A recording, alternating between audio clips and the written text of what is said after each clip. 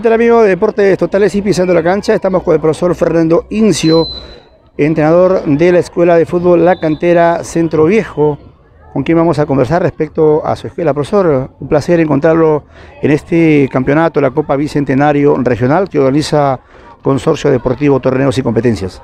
¿Qué tal, Roger? Este, gracias por la entrevista. Eh, el gusto es mío. Eh, es saber que te encuentras por acá promoviendo el fútbol de menores y pues aprovechando la oportunidad para este campeonato que organiza torneos y competencias, uno de los mejores aquí en Trujillo, ¿no?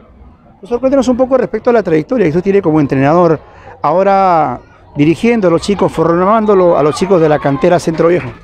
Pues sí, mira, te, cuento, yo ya tengo más o menos 25 años eh, dedicado al fútbol, fútbol formativo de menores, este, empezamos con escuela de fútbol Centro Viejo, luego pasamos a la escuela Sporting Cristal, hemos estado por la U, en Alianza, y bueno, ahora con la cantera Centro Viejo, ¿no? que ya es una escuela que le hemos cambiado de nombre, pero sigue con el mismo estilo, con la misma actitud de siempre que ha caracterizado a mis escuelas de fútbol. ¿no? usted puede, con eh, el pecho inflado, decir, he estado dirigiendo en Cristal Universitario y Alianza Lima en Trujillo. Adiós, gracias, sí.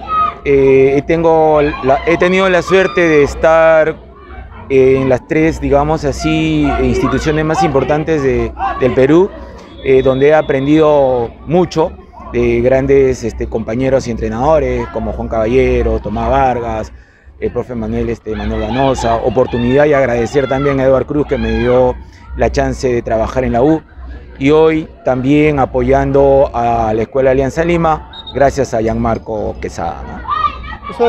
Eh, ¿qué dificultad se encuentra principalmente en los chicos, en la formación que deben tener los jóvenes, que son eh, el futuro del país en cuanto al tema fútbol?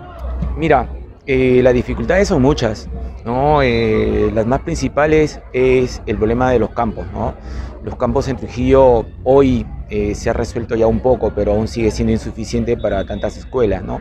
Luego viene también el tema de la improvisación, ¿no? Este, mucho se piensa que por haber jugado fútbol te da la, autorización o, eh, la chance de que puedas dirigir, ¿no? Más no este, se dan cuenta de que hay que prepararse mucho y tener ese amor y pasión de enseñar a los niños, ¿no? Otra de las bueno, las dificultades que hay es el tema alimenticio, ¿no? Este, los niños son, mal, son muy mal alimentados, no, se ingiere y no se come los alimentos necesarios que les permitan fortalecer su organismo, ¿no? Y lo otro también diría, pues, este, pasa por el lado de los padres de familia, ¿no? Que a veces a los chicos lo ven como la solución para salir de sus problemas económicos, ¿no? El niño, bajo mi experiencia, tiene que salir a divertirse, jugar y jugar siempre, ¿no?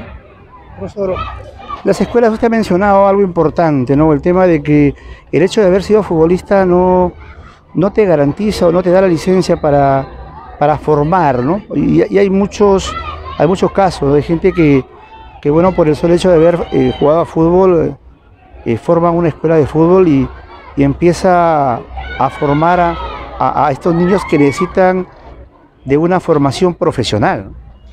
Mira, yo creo que eh, la idea equivocada de los eh, entrenadores de fútbol es que se piensa que cada niño tiene que llegar a ser futbolista profesional, ¿no? En el transcurso del tiempo entendí que el fútbol es un medio, una herramienta para que el niño se forme como persona.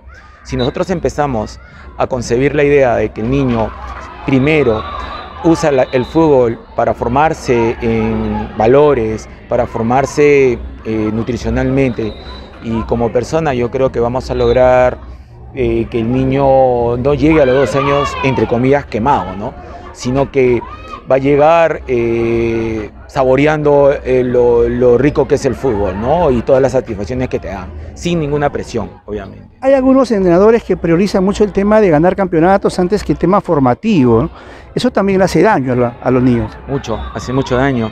los psicólogos dicen que al niño hay que dejarlo jugar, no lo podemos quemar eh, emocionalmente a los 10 años. ¿no? Es por eso que en el transcurso del tiempo en el que he estado he visto tantos chicos que se han cansado de hacer goles y lamentablemente se perdieron en el tiempo, ¿no? ¿Por qué? Porque, como dije anteriormente, el papá lo ve como una solución a sus problemas económicos y, el entrenador lo ve como una solución para, para que él pues, logre tener esa estrella de haber logrado formar jugadores profesionales. ¿no? Ahí nos estamos equivocando totalmente. ¿no? Yo creo que cuando los entrenadores, formadores piensen que primero se forma la persona y luego al jugador, yo creo que vamos a lograr este, niños y jugadores totalmente distintos. ¿no? Háblenos respecto a su escuela, ¿dónde están entrenando ustedes? ¿Qué día entrenan? ¿Y cuál es el teléfono de contacto? Sí, como no, mira, nosotros estamos este, entrenando en el campo, en la cancha techada de Ludicus. Eh, por ahora ya tenemos el horario escolar, viernes y sábado de 4 a 5 de la tarde.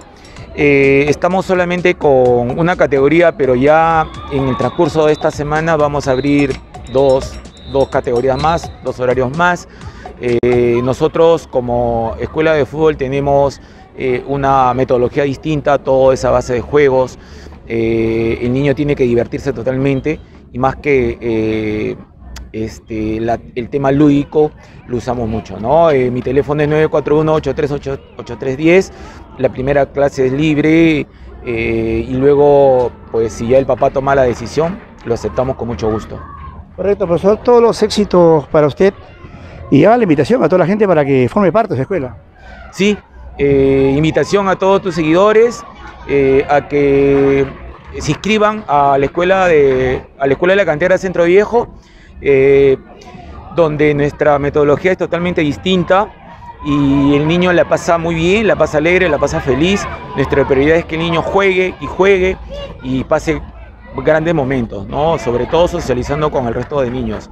Este, están invitados nuevamente y, este viernes y sábado estamos, estamos en Lúdicos.